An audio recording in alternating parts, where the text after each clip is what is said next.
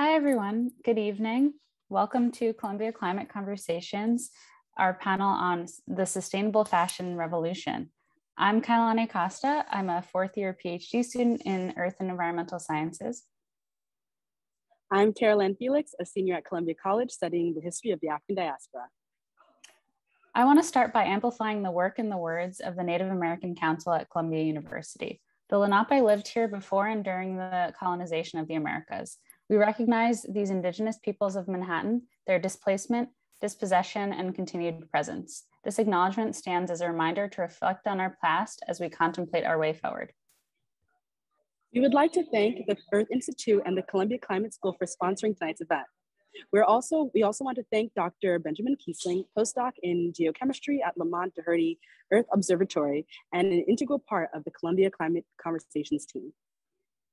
Tonight's event was imagined, planned, and made possible by Lauren Ritchie, a 20 year old climate activist, writer, podcast host, and fourth year student in sustainable development at Columbia. She's the creator of the Eco Justice Project, which is a digital platform that educates on climate justice, promotes intersectional climate action, and seeks to make more sustainable living possible and accessible and inclusive by amplifying the voices of marginalized communities. She's also a writer and content strategist for Brown Girl Green, a youth ambassador for the Plastic Plastic Pollution Coalition, and the co host of the podcast Black Girl Blueprint, a platform to center the voices and celebrate the accomplishments of young Black women in a vast array of fields.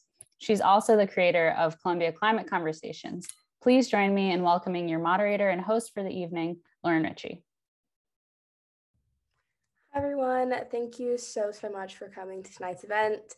I'm so excited for this conversation. We have so many great panelists lined up, and I think sustainable fashion is something that we've all kind of been wondering about. It's kind of a nuanced, complex topic, so I'm so excited for these experts to be able to get into it. And without further ado, I will let our wonderful panelists introduce themselves, um, just what the work they do, um, anything else that they'd like to share.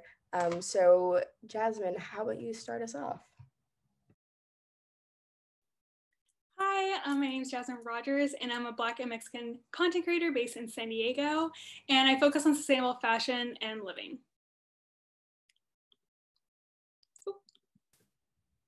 Shelly, you can go next. Hi everyone, I am Shelly. Actually, my family is from San Diego, so hi Jazmine. I'll have to look for you next time I'm home. Um, I am actually a Columbia College graduate. Um, so Lauren, your background is very nostalgic for me. I used to live in dorms like that. Uh, I'm a zero waste uh, fashion designer. Um, and also I founded a fashion tech startup called SXD that turns clothing designs and ideas into zero waste ones. Nicole?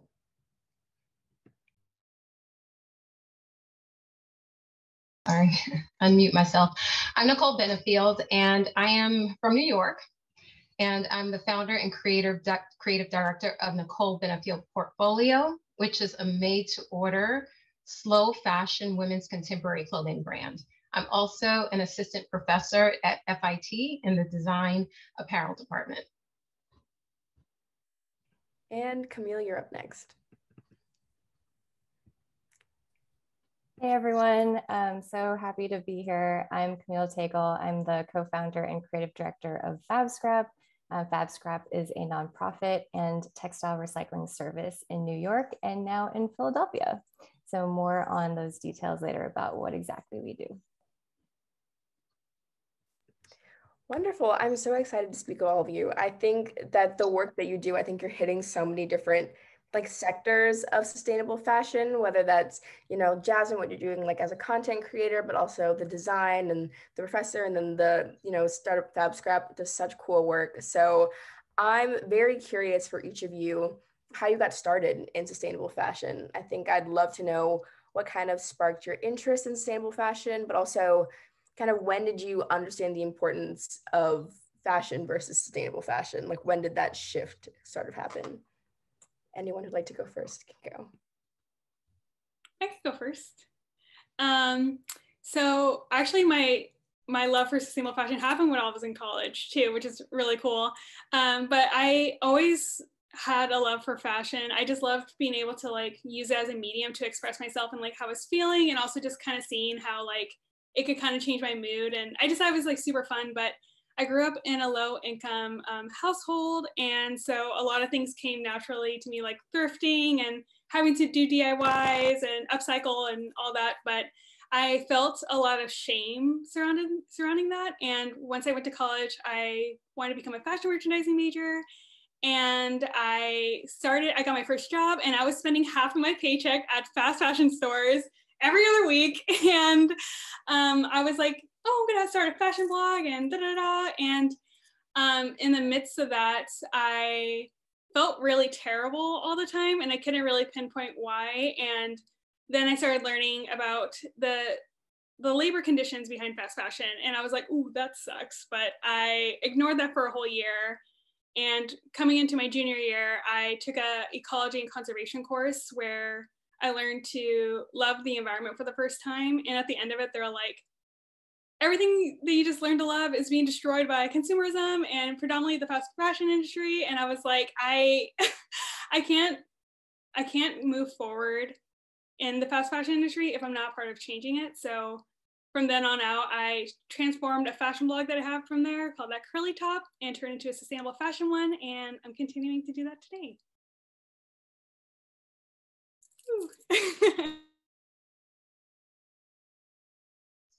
I'll go next. so um, I, unlike you, Jazmine, sort of, I've been in fashion, I don't know, I hate to count, but over 20 years. And I've always designed for big brands. And I started working at FIT about three years ago. And um, during the pandemic and the George Floyd incident, there um, was a call to Black creators by a company called Resonance, and they develop on a sustainable circular platform. And they put out a call to Black creators, and they created a program called Be Resonant. And um, I, they said anybody could, you know, participate, whether you're a brand or not, um, just as long as you are a Black creator. So I had a portfolio, submitted my work, and I got accepted onto their platform. And that's how I started working sustainably on their platform. So, literally, just a year, I've been doing almost a year. Um, a year would have been in July that I started on their platform. My brand didn't launch until November. So, I'm still learning along the way, but um, it's it's really incredible all the things that are are happening um, to sort of address fast fashion and what Resonance is doing ar around that.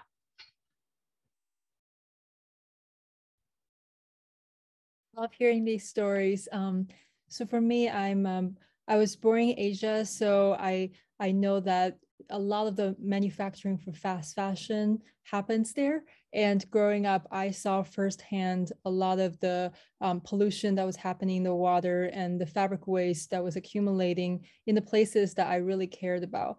Um, so actually, when I was at Columbia, I studied sustainable development. Um, and in fact, I think during my junior year, maybe I had this uh, choice of either flying to LA for uh, a chance to be on the show to design for a celebrity or um, stay in school uh, to, to finish my studies in sustainable development. And I actually chose to study sustainable development because I realized that for me, it wasn't just about being a designer, it was about using design to enable solutions that help us do better um, for the industry. Uh, and that's really move, what moves me. Um, also for, for me, something that really drove me to action was I remember being at one of the sustainability panels uh, at Harvard. So I actually just graduated from the graduate school there. Um, and we had senators and um, people from the business side all talking about sustainability and they kept pointing to the younger generation the college students being like and you're going to be the generation that solves this. And i remember one of the college students stood up and was like what about you guys? You all have the privilege of um, actually knowing people having the resources having the experience and expertise to make a real difference. So why are you pointing fingers at us to always um, be the generation to change things and that really spoke to me because I mean, I'm not that old, but I have a sister who's a teenager. Um, and I thought about myself. And at the time, I was a creative director at Instagram. I did feel like I had a lot of privilege. Um, and, and I felt like I had a lot of resources to do something um, really different. Um, so, so anyway, that's when I decided to put my sustainability study to use um, and uh, stay at Harvard and actually start this startup uh, around zero waste designs. Nice, Shelly. It's it's good to see you. I know we've emailed even through FabScrap, so nice to see you in person. Um, my my journey is somewhat similar in in the sense that um, I noticed a lot firsthand, similar to Shelly as well. Um, so my background and career before FabScrap was actually in evening wear design in New York City. Um, I had the privilege of being able to work for really amazing designers and be at fashion weeks and send uh, really, really beautiful, um, gorgeous silk gowns and dresses down the runway. Um, and as much as I really loved it and was very, very passionate about it, and you know, I had always thought like design was plan A and there was no plan B. Um, I think it was just seeing firsthand like all the waste that was accumulating from each collection even though it was sampling and um, you know smaller scale production at the luxury level in new york city um, it was just mind blowing to me how much reusable fabric in particular would be thrown um, to the trash and sent to landfill. And i just remember being a fashion student and you know all of those different projects um, where we could have you know gotten fabric at like thrift store pricing and or like you know just I, I just started thinking back to my my roots and my beginnings and how there are so many creatives who could utilize that waste that was going to landfill. And you know evening wear is admittedly one of the more frivolous categories of apparel um, and it's definitely it's definitely guilty of being more single use because you know most people don't want to rewear a cocktail dress or gown to more than one event. They always want a new one um, to make that that like statement. Um, and so i think for me it was just over time you know as a designer um, pu- like putting pieces together and seeing a bigger picture um, and kind of getting outside of all those like back-to-back deadlines to be able to notice okay you know i'm i'm designing at a luxury level for people who kind of already have everything that they could want. It's designing something that's like single use. And I'm seeing all this fabric that um, I know a lot of people could actually extend the life of being thrown to landfill. And so I started to really ask myself, okay, well, this is a good fit, but you know, what do I really want like my contribution to society to be? Um, knowing that I had certain ideas of how to make that fabric kind of like, I guess, accessible to more people and especially the public, um, because most of those fabrics, especially the sampling samples, are usually only available to industry members. So I had all these ideas um, of how to kind of put it into other hands and then and redistribute that waste. And um, I had, you know, I kind of knew I had other skill sets beyond design.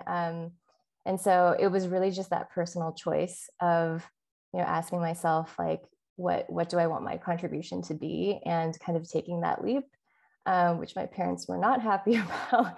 I just got them kind of on board with fashion design and then suddenly it was like what? Nonprofits? Like um, so i think in terms of like my personal journey it's something that i've i've never regretted in terms of that switch and yes like i do i do miss like moments of design but there is a lot of creativity um, at FabScrap and in, in different ways and of course having access to fab to fabric means like a lot of personal um, side projects for design uh, which is always exciting. So um, yeah that is pretty much how i ended up at at FabScrap and co-founding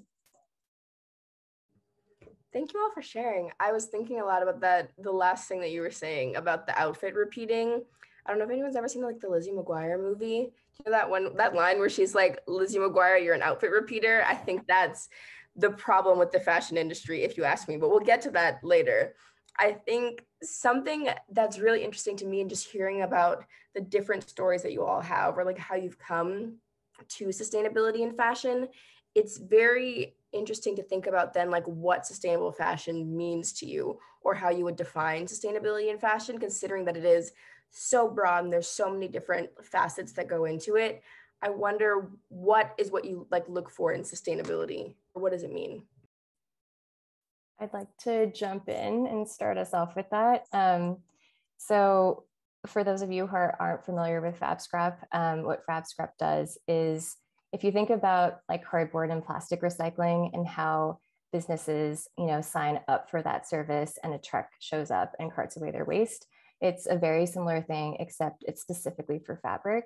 Um, and so, so much of our service specifically catering to commercial waste rather than um, individual clothing waste um, is kind of like built upon the fact that we feel a lot of a lot of companies should be responsible for their waste period. Like they're they should be you know understanding the volumes of what they're creating in terms of waste. Um, there's an estimate that for every one pound of clothing that a consumer throws out that um, a minimum 40 pounds were actually created 40 pounds of waste were actually accumulated upstream to even get to that one pound.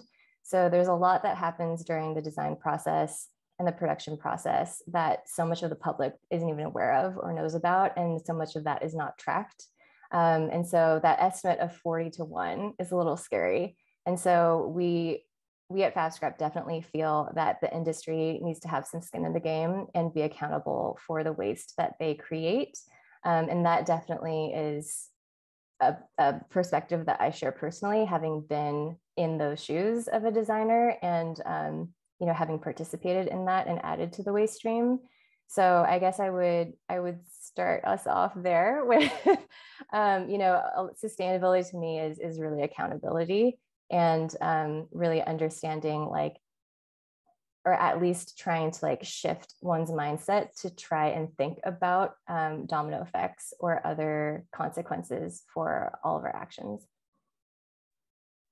I just want to say I'm a big Fab Scrap fan. It's actually where I first got my fabrics for my designs. Um, and the 40 to 1 ratio is crazy. Um, I I did actually read about that through Fab Scrap, I think, and um, it's something that I've been thinking a lot about. Um, I would say for me, like adding to that, sustainable fashion or sustainable design, first of all, um, should be about how how you design things so that you never deplete the resources on our planet. So that 40 to 1 ratio is crazy because we should actually be designing a way that can be circular so that whatever we create with the materials, it gets replenished. Um, and then the second thing from a more design standpoint is that I believe that sustainable clothing, um, they should be things that people really want to wear over and over again because I always think about how no matter how sustainable you label this piece of clothing, if nobody likes it, if nobody wants to wear it, at the end of the day, it's just waste sitting in your closet. And that's really what inspired me to start my company to begin with, because I realize right now there's so many sustainable labels, but at the end of the day, if people don't actually want to wear them because they find the design not so great or basic or compromising the design because you're trying to be sustainable, at the end of the day, it's still just waste. Um, so I actually think it's also our responsibility within the sustainable fashion movement to make sure we create really desirable things that people actually want. And I would I would just add to I think I think this is my my approach for just sustainable living in general, but I think it really comes down to intentionality, and I think that really answers like a lot of the problems that we have where it's. I feel like when you're intentional in the entire process of designing, or even if it's purchasing, like yeah, if you are intentionally like adding things into your wardrobe, if you're intentional about like the work environments that people are in, if you're intentional about where you're getting the fabric and materials, and I think there's just such a lack of intentionality. Like there's no way you could be intentional about a 52 week cycle of clothing. There's no way you can actually like really think about it and really consider a lot of the aspects of that. And I think that's what slowing down is. It's just like taking a step back and really like being intentional with everything. Um, I look at it as um, waste, right? How do you minimize waste in um, how you make the garment, uh, when you actually own the garment, that you own it and love it, kind of like what Shelly was saying. Um, and then, you know, when you bring trend into the equation, right, it already has that stigma of it's here for today and I will move on and, and it'll be somewhere else tomorrow. And um, minimize the waste in creating it, um, and whether you're using natural fabrics or biodegradable fabrics.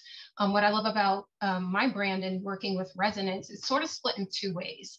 Um, Resonance is developing on their platform. It's taking, imagine a pattern, you know, you have your pattern, the sleeve, the collar, and within that trace of the pattern, that pattern gets printed onto the garment. So there is no take the pattern, lay it on fabrics that are running yardage of something.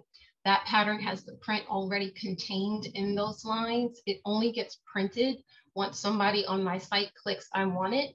That, that's the only time it gets printed. So you're only using that amount of yardage that that garment requires. And it's um, digitally printed, so there's a lot less inks involved and all that negative space isn't wasted. And then there's the other component of what I do where it's made on demand, where um, I'm using um, upcycling fabrics, I'm using dead stock fabrics. Again, only when a, a, customer orders it. So there's no inventory on what I do. There's no such thing as going on sale. If I go on sale, then it's because maybe I'm running out of yardage that I may have, may have secured or um, or uh, that style is being continued, discontinued. But there is no inventory with what I do unless a customer returns something, but then there's always demand to sell it over again. So um, that, that's what sustainability means to me. It's minimizing waste. I think these questions of like waste and the idea of like fast fashion and being on trend are so interesting because they kind of frame the way that we see our clothes, which is an aspect of sustainable fashion that kind of fuels the fast fashion industry or if we were to talk about you know, like western consumer culture in general like how have we been taught to think about our clothes? How have we been kind of conditioned that you can only wear things once or that you know things happen on a cycle and you always need the newest trends? And i was just wondering what you all think about you know that idea of how it you know makes how it allows us to see our clothes but also yeah, just how why is that such a big issue and what can we do to get people to love their clothes so that this idea of being on trend and the waste problem isn't such a big issue? Um, I would say, well, touching in like earlier when I was like talking about my journey, um, when I was buying fast fashion habitually, I found myself just feeling like like chasing trends is so exhausting and your self-esteem goes down and you're wasting a ton of money. And i just feel like overall you're not actually enjoying fashion itself. And i feel like when i discuss with a lot of people who are either transitioning out of the journey or like are just kind of explaining like their hate for fast fashion on a personal level that um it, it's the fast fashion industry the like the fashion industry isn't as enjoyable as it could be and I think really we just need to be able to redefine what it is. And with so like with slow and sustainable fashion, um, I actually think you're able to really enhance your own personal voice and perspective because I think with the on-demand trends, you're forced to like fit a certain agenda, fit a certain like stereotype and like look, and then people who are outside of that are deemed as like less than. And I think that when we slow down and have sustainable fashion, it's like you could have so many different cultural perspectives and people wearing things that actually make them feel good. And I know for me, once I made that transition, I felt so empowered and being able to like really define like who I am and what I want to wear. And I'm like, I want to wear bright things. I could go ahead and do that. Like, I don't have to like follow the next thing. And I think as, especially as you get older, you see like a lot of trends cycling around and it's like if you loved it at one point you're gonna love it forever and no matter what people say and it's like yeah it's just like the trend cycles just force you to have to keep buying but being able to slow down and like really love what you have is has been one of the most empowering things for myself. Um, i would say at FabScrap in in kind of getting people to understand like why why we do what we do um, there's like a reminder of like the resources that went into the fabric itself um, and i guess like a, a, bigger appreciation for that and i would say parallel to that is also just like the work and um, time and and skill that it takes um, to go into creating a full garment Um, so what we try to do as much as possible is to kind of like teach skills um, in terms of the reuse initiatives that we have. So, you know, we, we have all this fabric and all these materials, but if people don't know how to work with them, then that's not really going to be, um, you know, an easy way to redistribute the fabric. Um, so I think we, as much as we try to educate about fabric itself, it's also like the skills of how to do really basic sewing or intro sewing, um, or even different like mending techniques. Um, and I really think that that personalization that you can put onto garments is really when people feel like that emotional connection. And I think um, I, I, think the designers on the panel can definitely speak to like when something is more um, you know unique or like a little bit low like lower um, units of something and and more um, you know like limited edition then that usually like gives like a different sort of spin on it um, but we have um, these digital workshops that we do every month um, where we connect with a someone it could be an artist or a designer or someone who just has like a skill that they do on the side um, whatever it may be. I think the last one we had was like lace appliques and how to like rework that as a mending component onto a garment. Um, and it's just honestly like a one hour um, workshop that you can sign up for for free, or if you choose to donate um, in order to support the workshop host, then that is an option. Um, but it's over Zoom, so you can you can tune in from the safety of your home um, and really just learn how to adopt like different simple alteration techniques or mending techniques um, or maybe an intro into sewing um, and i really think that yeah putting those personal touches or even like being the one to experience what it's like to sew a garment together um, is really really eye-opening for a lot of people and then and then you know they're from there, things kind of like open up to like, oh, wait, if I had to do this, that means when I walk into a store and buy something, someone else had to do that. and then, you know, that that awareness kind of grows from there. And um, and then people start paying attention to who is actually making the clothes. And and you know, from there, then hopefully people start asking themselves, well, who's making the fabric and how are what resources are going into that. Um, but yeah, pretty much we start small with just workshops um, and and just sharing the different skills um, that our community has. Um, I think that Western consumer culture is built around buy more and buy it cheap, right? So when you think about um, sustainable fashion, a lot of times it's not cheap. And I think that, and a lot of times it, uh, when you think about sustainable fashion, it doesn't look like fashion, right? Sometimes it's the most simple silhouette, but it's not keeping up with the Zara or an H&M or, you know, any kind of cool um, aesthetic that you might be trying to achieve at a price. But um, I think it's a matter of changing um, per- perception of fast fashion, right? Um, like you said, um, Camille, about who sewed that. Like if you're shopping and you purchase something, a top, it's 20 bucks, right? And you know, there's a lot of um, a lot of brands are now saying, oh, it was made with this fiber and we're doing this. Yeah, but it's $20. How how did someone make this for $20?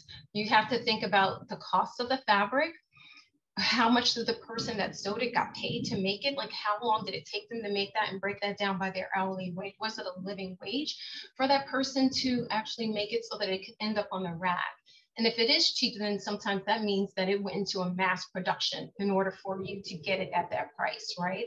So you're buying it cheap, it might be sustainable, but there are a whole lot of pieces just like it in all their other stores, right? So, um, you know, I, I think that it's a matter of changing the Western consumer um, idea around fast fashion and um, investing more in what they own, knowing that this fabric was secured and, maybe in a sustainable way.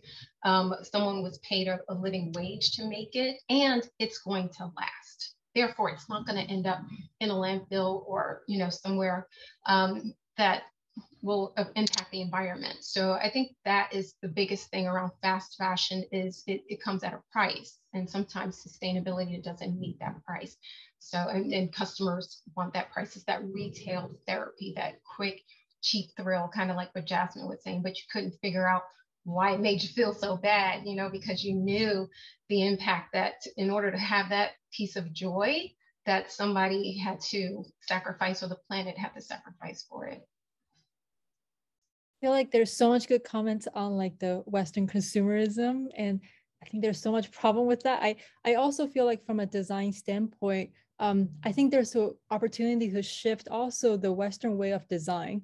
Um, so today, the, the traditional Western way of design is that you start with a design sketch or a crazy idea that you have, and you don't think about what is a resource that's required to make that garment. How do you, um, what are the materials that's available to you? And all you have is this idea that's a sketch and then others are trying to force fit the resources to to match that style match that design match that trend as much as they can. And that's why for almost all the designs that we wear today there's like 10 to 30 percent of the fabric goes to waste even just in the design process alone. And so for me i started my company with a lot of inspiration from designs like the kimono or sari that actually starts with the fabric itself. So if you actually starts from the resources that you have, the materials that you have as a creative constraint, rather than just dreaming up any trendy thing, um, then you can actually work in a way that takes into account um, the, the resources and in a way that is sustainable from the start um, that can not waste any materials. Um, so I think there's also a lot of opportunity from the design side.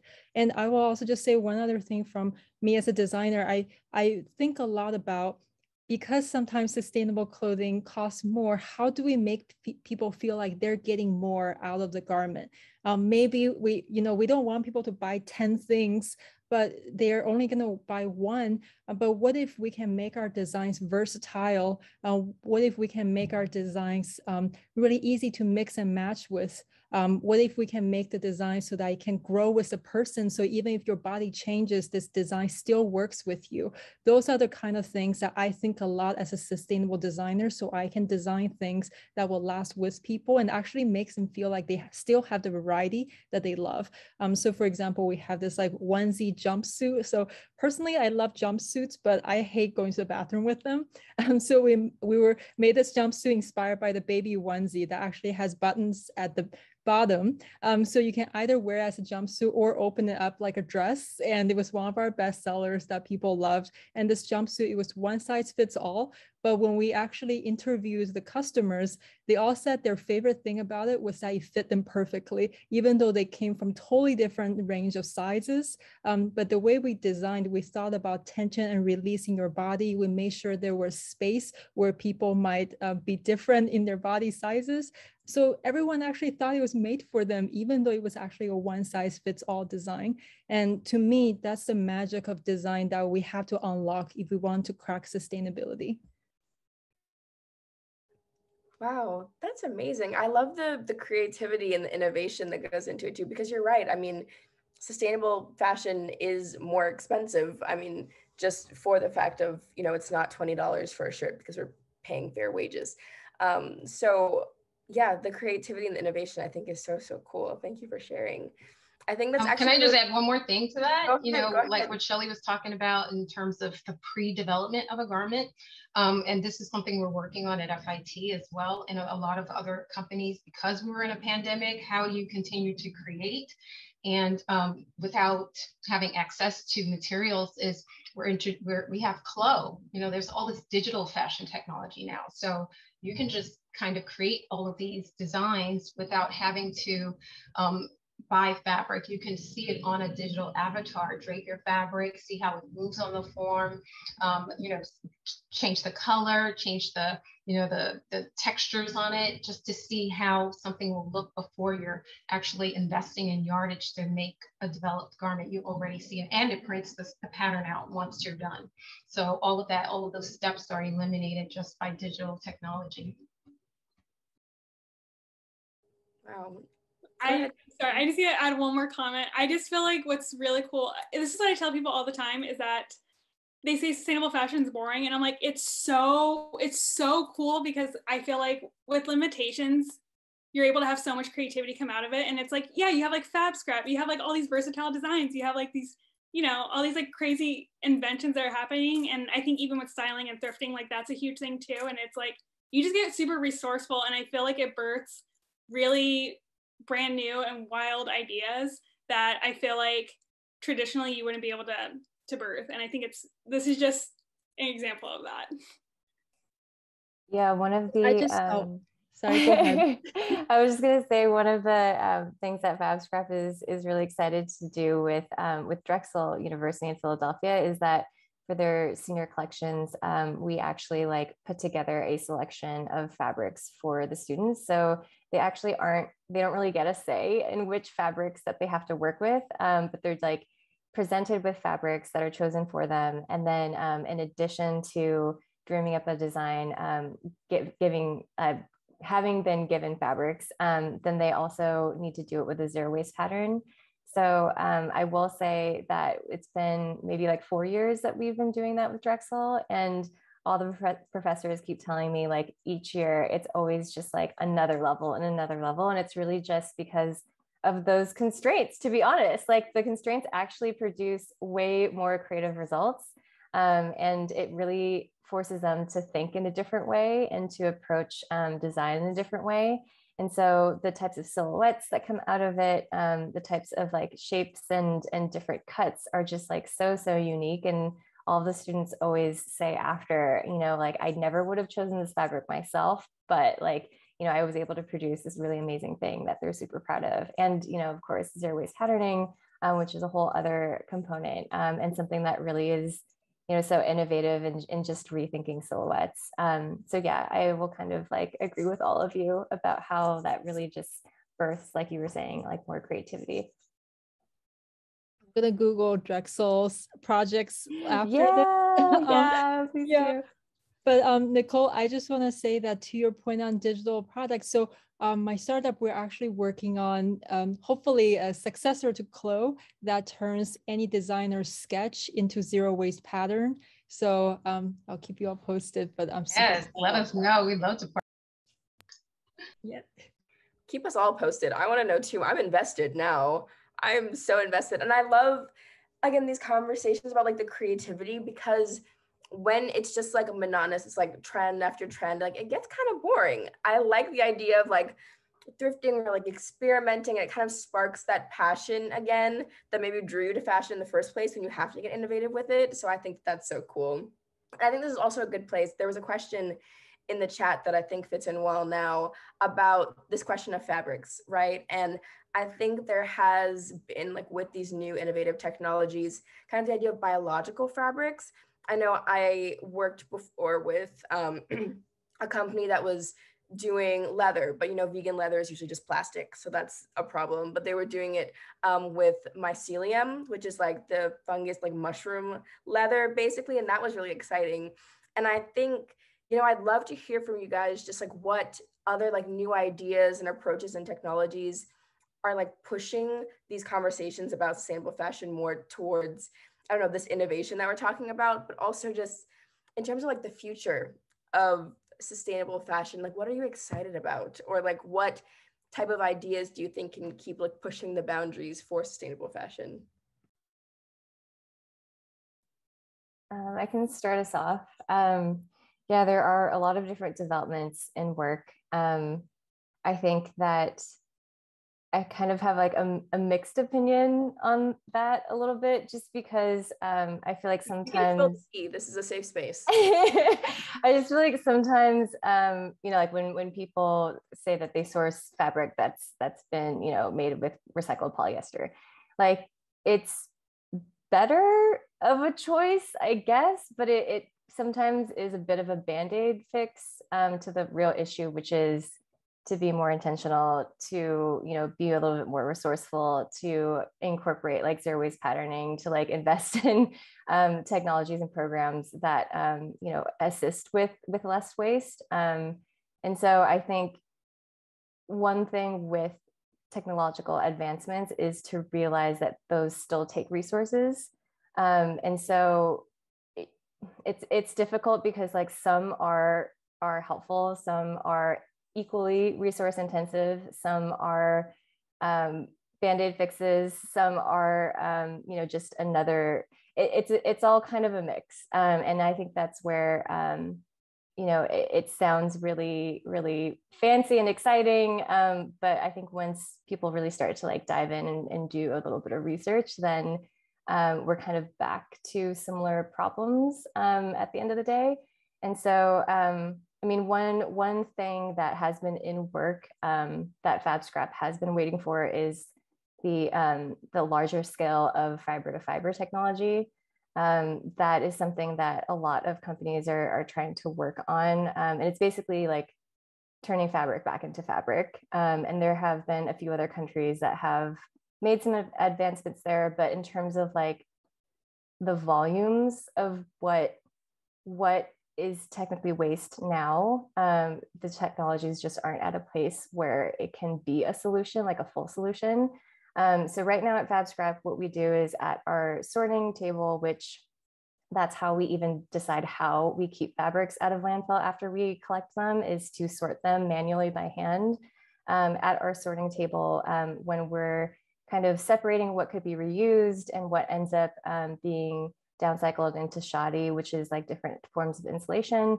Um, we do separate for 100% cotton, 100% poly, um, wool, and um, and I think, yeah, right now those are actually the main three. Um, and so those particular fibers are the ones that um, are projected to have those advancements finished um, first.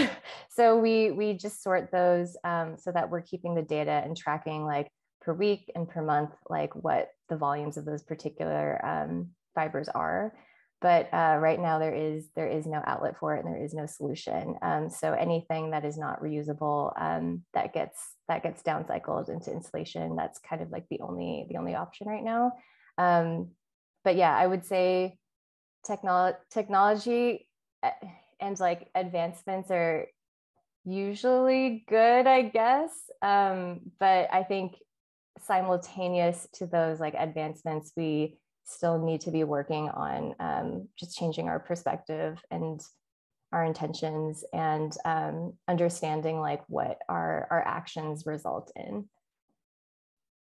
Yeah, I feel like for me also fabric is something that um, I have mixed feelings about because I hear all about these like fabric innovations, but sometimes they turn out to not be as sustainable as I thought they would be, and other times, um, and and other times it just makes it so expensive. And I understand that sustainable garments, it's okay if they cost more, but if you know the average, I think American consumer um, spends like a thousand dollars to two thousand dollars on clothing a, a year or something, or maybe it was like for the whole household. I can't remember, but it's like not that big of a number. So if you are selling clothing that are like a thousand dollars, probably no one's really going to buy it. And you know, as a sustainable designer, you're not really making the impact you want to have. Um, for me, some something we're currently working on is actually collaborating with a lot of um, international apparel brands where they have a lot of leftover materials that they overordered. Um, and we actually turn that into zero waste designs. Uh, and that's something that um, we're starting with. Um, uh, another technology though that I'm pretty excited about. So currently um, my startup SXD, we are part of this innovation lab with the Spanish brand Desigual. And one of the other startups there is called Resortecs. And they created this thread that um, basically under heat, it melts away so that it makes disassembling the clothing and the garment really easy. Um, and for me as a creative person, that opens so many doors for creativity because then you can start creating modular designs, designs that's swappable, that you can create the pieces of fabric and use it for different things. Um, so those kind of technologies are what I'm pretty excited about.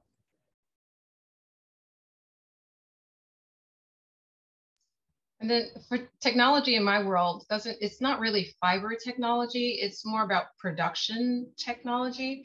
Um, like I was explaining earlier, how um, the customer orders it first and then it goes into production. So just streamlining the process and not adding more to waste.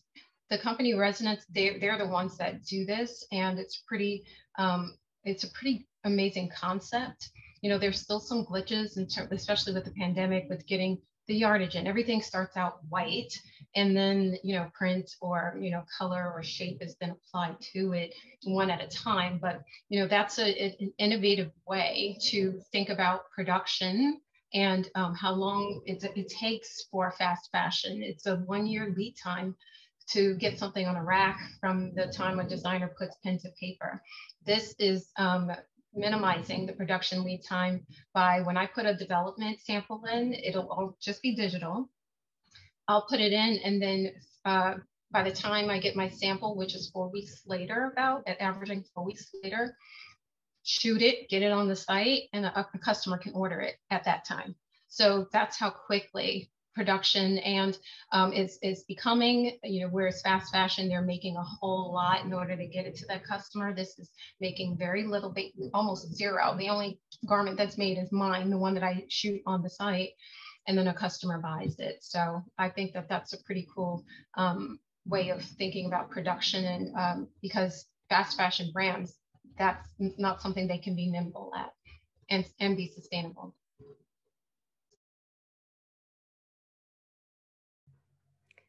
That makes a lot of sense. Wow. You you're all blowing my mind. I think I haven't I don't really know very much. I think like with not being a designer, not being on the fabric side, I think I don't hear about this very, very much, but that was also insightful and exciting. I'm going down a rabbit hole researching after all of this, but it's very cool. Um, again, we're always running low on time. We have 14 minutes left, and I have a couple more questions that I want to get to. But I think something that's really interesting for our audience to try to grapple with is, you know, what it's like to buy from a brand.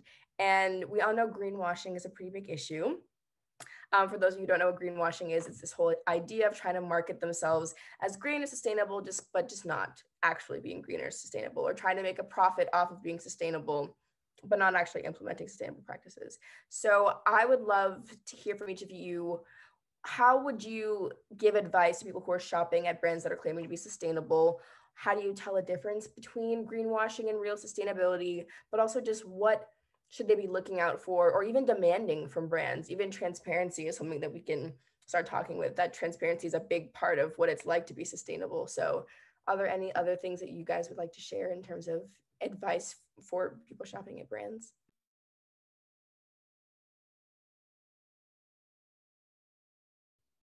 Yes, Star. So I think there are a few things. One is that I think it's important for for consumers to see the full cycle. It's not just about like highlighting a few cool parts of your your model, but it's actually showing everything from how you source the fabric to how you think about your labor practices, all the way to your packaging and how you design the clothing and how you deliver and produce on demand um, without inventory waste. Um, so I think it's really important to actually see the full cycle. And I think it's responsibilities of, of brands, including mine and uh, Nicole's, to, to make sure that we do share that even if we're not perfect yet.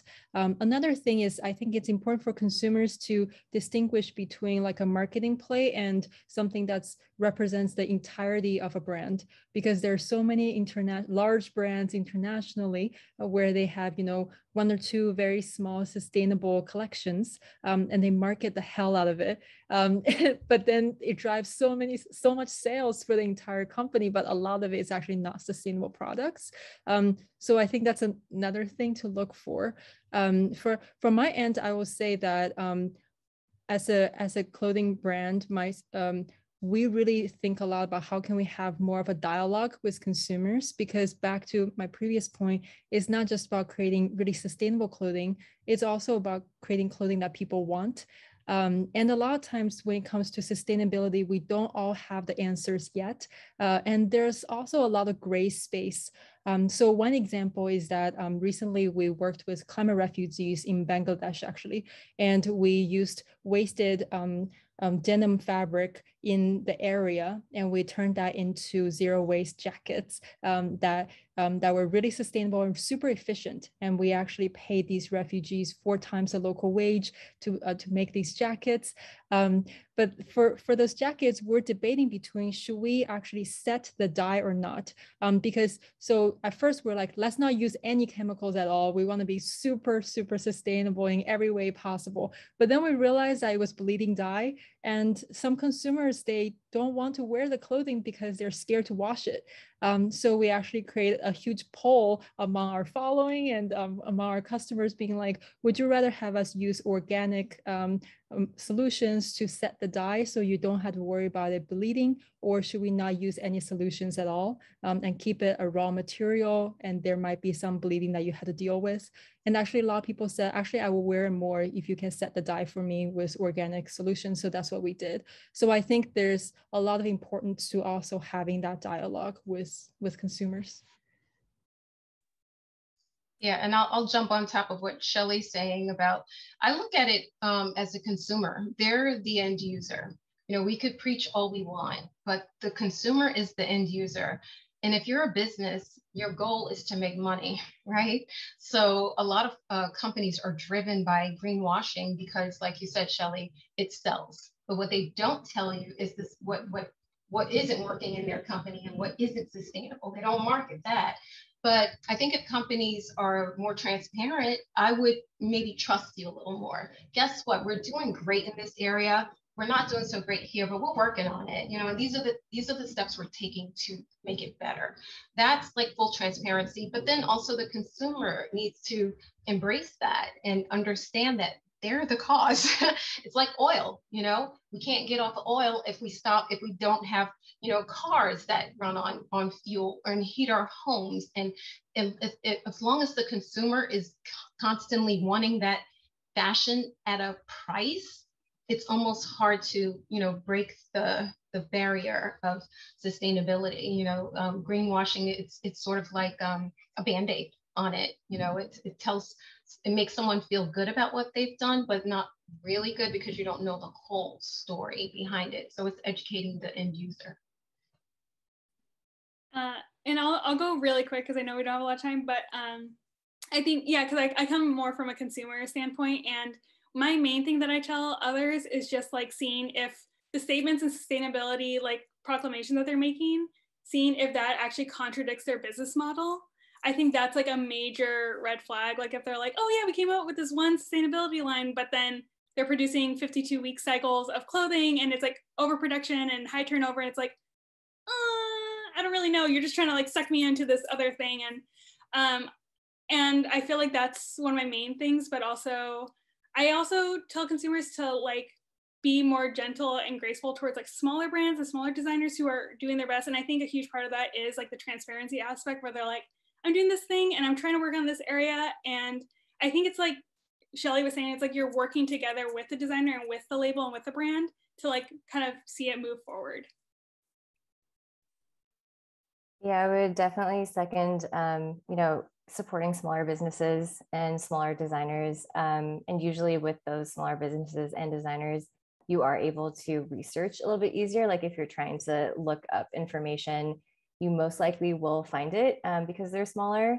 I would say um, definitely factoring in if you aren't shopping small um, and you're you're going towards like a bigger company, um, factoring in like if they do have take back programs, like where is that actually going? Um, and are their take back programs very specific fibers and materials, or are they accepting everything and anything and somehow magically that's being recycled? Um, and so I guess just kind of taking that question a step further instead of just like taking it at face value. Um, another thing too is again like a lot of Americans can't can't shop um, always small designers and and um, for price reasons like go with larger companies. Um, but a lot a lot of larger companies that actually do care are starting to um, invest more in certifications. So I would say um, you know if you happen to see or become familiar with you know kind of those certifications, which for, for those, those of you who aren't um, like completely aware, um, certifications are basically like third parties um, that companies have to pay in order for them to kind of give that stamp of approval that that particular product was either made sustainably or um, did not involve like certain dangerous chemicals, um, things like that. And that that review process is very intensive and it takes a lot of time um, and a lot of like rigorous testing and um, a lot of like on-site visits for, to even earn that certification and you have to pay for it as well. So if a company sells a product that actually has like that stamp and certification then it definitely went through um, a lot of a lot of hoops. And so it's it's kind of like a a, a more positive sign um, for a bigger company. So i would say to look for for those or become more familiar with them Thank you. Okay, for our last question, we only have six minutes left, so excuse me, this is kind of long and kind of a catch-all question. But one of the questions in the Q and A was basically asking. We do have like a lot of designers here, people who are in um, the fashion space, and a lot of the students were wondering, um, basically, how does someone go from making that from a passion into a livelihood, or what advice would you give to the next generation of young designers who want to work in sustainable fashion? And also, in that answer, if you have any last sustainability advice that you'd like to share, whether that's you know about like circular fashion or like what to do with your clothes um, afterwards. Just kind of consider this a catch-all end advice question.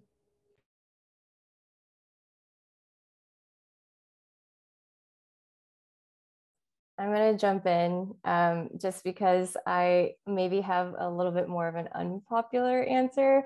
Um, but because of where I sit in FabScrap, um, I always just really cannot emphasize enough um, that for any of those who decide to enter the fashion industry as a designer, that um, with there being more light shed on practices and with there being more information out there about how um, unsustainable the industry is, there's definitely, I think, more of a responsibility on those who are entering the industry to really, really know what steps you're taking.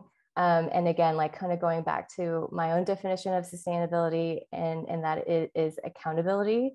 Um, that if you really have something that you really, really want to put out there and like add to the world, um, making sure that every single step it takes to get that product into the world is like really thought out um, in terms of not only for your own business to be sustainable, but for that particular product to mesh and marry well with the world. Um, and I think a lot of that challenge is kind of what was brought up earlier about um, the circularity and making sure that whatever system you're creating and putting out there into the world is one that is circular.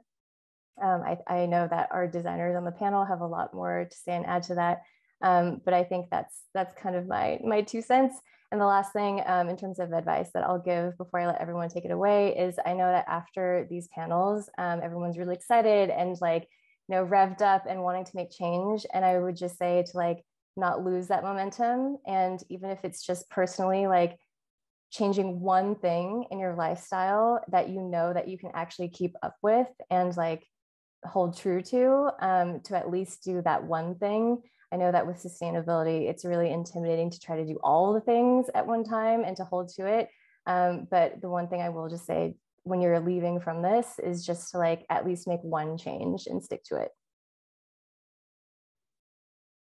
I have a pretty practical uh, advice, I guess. So uh, first of all, I think if you do join a larger corporation or existing fashion brand, don't be afraid to be the rebel and actually challenge how things are done because I think so much of what's happening in this industry today has been done that way for a very long time, and there's a lot of room to change.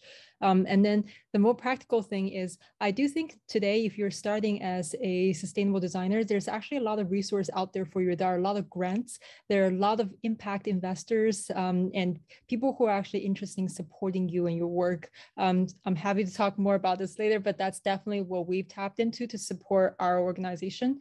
Um, and then the one last thing I'll just leave you with is don't be afraid to reach out to sustainable brands. I mean, I read all of our DMs on Instagram.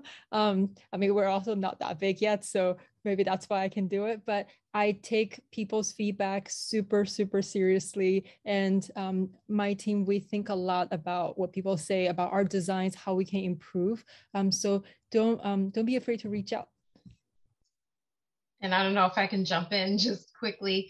Um, I, like what Camille was saying, upcycle your stuff. You know, I'm always re redecorating my clothes, uh, my clothing to be repurposed in some way. But do your research.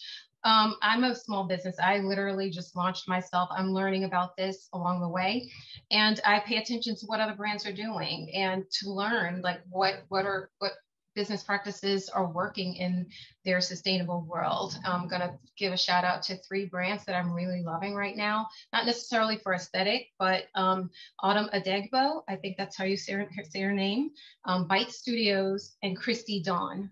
Very three very different aesthetics and still addressing what um, sustainability is um, in all different kinds of ways. And Nicole Benefield, hey.